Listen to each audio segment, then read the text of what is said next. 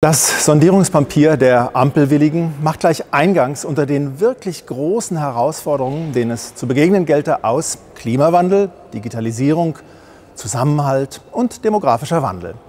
Von solchen Kleinigkeiten wie den tausenden Milliarden Schulden Deutschlands zeigt man sich als echter Visionär unbeeindruckt. Das Problem des demografischen Wandels besteht freilich, soll aber, wenig überraschend, durch forcierten Ausländeremport gelöst werden. Das ist die Koalition, deren einer Vertreter Vaterlandsliebe schon immer zum Kotzen fand. Anders und etwa im Interesse Deutschlands bewerkstelligen wollen würde, war nicht zu erwarten.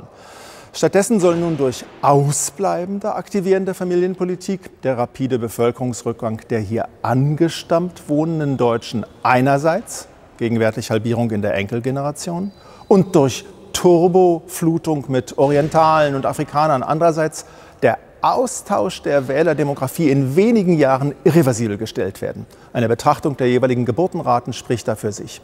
Generalhebel bleibt wie immer der erlogene Schutzbedürftigkeitsstatus selbst nach Durchzug durch zig sichere Drittländer.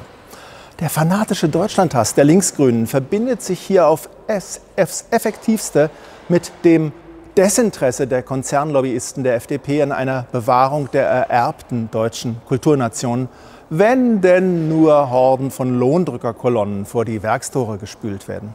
Um die arbeitsmarkttechnisch vielleicht nicht so brauchbare Mehrheit derselben darf sich dann der Sozialstaat kümmern.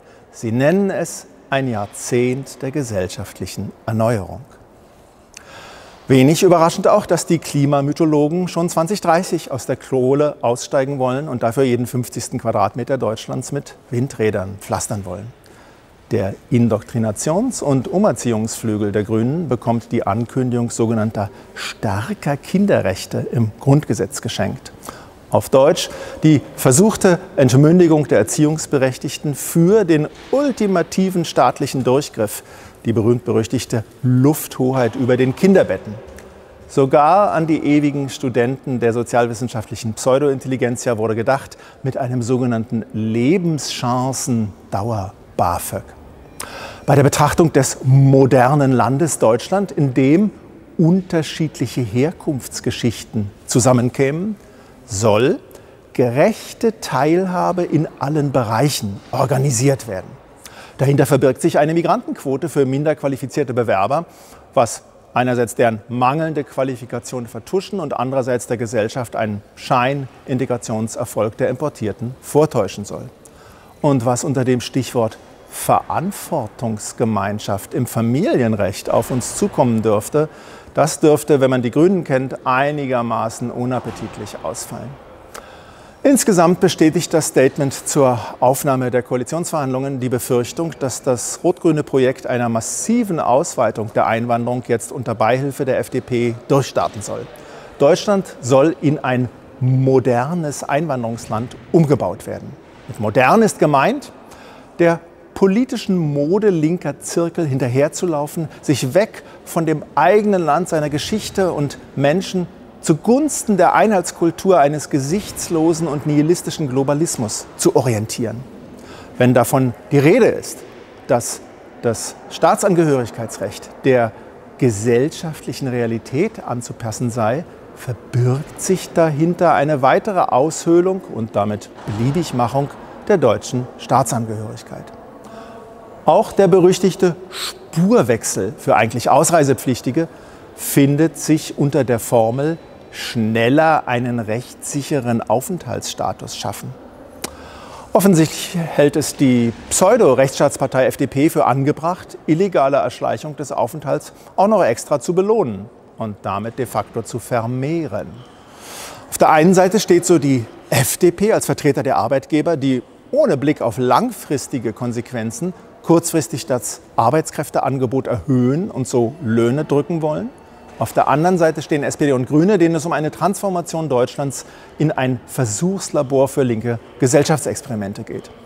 Einwanderung soll sich nicht mal mehr am Arbeitskräftebedarf orientieren, sondern selbst bei Massenarbeitslosigkeit soll durch ein Punktesystem immer dafür gesorgt sein, dass die Fluttore offen bleiben.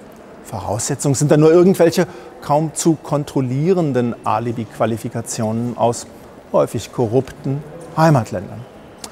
Aber Es passt schon, denn wie heißt es weiter? Deutsche Interessen werden zukünftig nur noch im Lichte europäischer Interessen definiert. Dass man da dann noch Desinformation, Propaganda und Manipulation abwehren will, entbehrt schon nicht mehr einer gewissen Komik, wenn da offenbar der Baerbock zum Gärtner gemacht werden soll. Verantwortungslos und rücksichtslos geht es rechtsfrei weiter. Neue Definition der Aufgaben der Bundeswehr, die eigentlich der Landesverteidigung dient, im Sinne eines Beitrags zur internationalen Sicherheit. Das wird den Rekruten, insbesondere nach Afghanistan, schon einiges sagen, betreffend eine etwa noch zu erwartende Rücksicht auf Leib und Leben. Und die Klimamärchenerzähler schließlich vergessen nicht, deutsche Pflichterfüllungen bei internationaler Klimafinanzierung herbeizufantasieren und gleich massiv einzufordern. Aber die FDP ist stolz auf sich. Es soll kein Tempolimit geben.